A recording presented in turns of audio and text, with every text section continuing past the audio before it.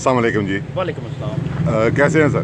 اللہ کا لاکھ فیصل صاحب آج جنرل الیکشن کے حوالے سے ضلع جہلم میں بھی الیکشن ہو رہے ہیں تو اس کے حوالے سے بتائیے گا کہ ایک تو ہماری پولیس جوان کتنے آج ڈیوٹی سر انجام دے رہے ہیں اور اس کے علاوہ آپ نے پاک آرمی بھی اسٹینڈ بائی ہے تو اس کے حوالے سے ہمارے ناظرین کو اس کی اپڈیٹ دیجیے گا کہ کیا کیا سیکیورٹی میجرز کسی بھی ناخوشگوار واقعے سے نپٹنے کے لیے پولیس نے اور سیکیورٹی ایجنسیز نے آج ان کا پلاننگ بنائی ہے کیسے ترتیب دے رہے ہیں۔ ڈیوٹی کے حوالے سے میں آپ کو بریف کرتا چلوں۔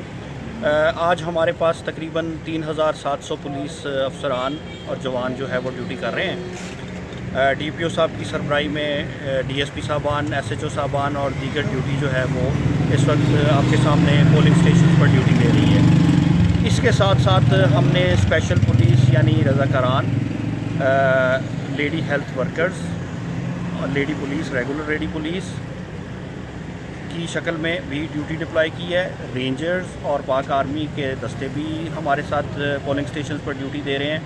اور اللہ کے فضل سے تمام پولنگ سٹیشنز پر اس وقت سیکیورٹی کے جامع انتظامات موجود ہیں۔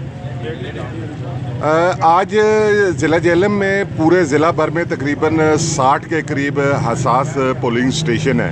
جو اے کیٹاگریز میں آتے ہیں اور تقریباً سات سو ساڑھے سات سو کے قریب پولنگ بوتھ ہیں۔ تو اس کے حوالے سے اے کیٹاگریز کے حوالے سے کوئی ایکسٹرا میئرز ہیں۔ اس کے حوالے سے بھی ہمارے ناظرین کو مختصر بتائیے گا۔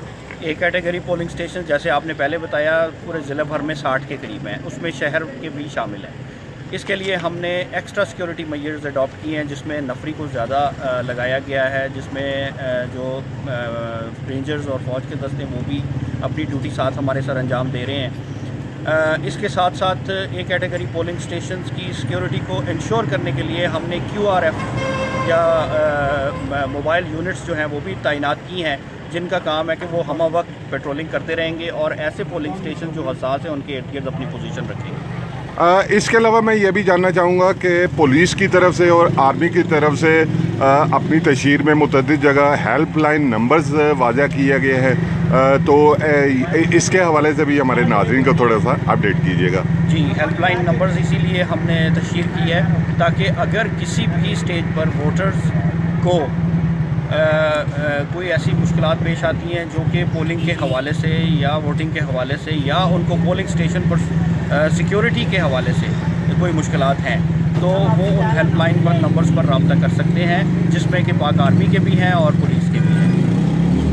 Thank you very much.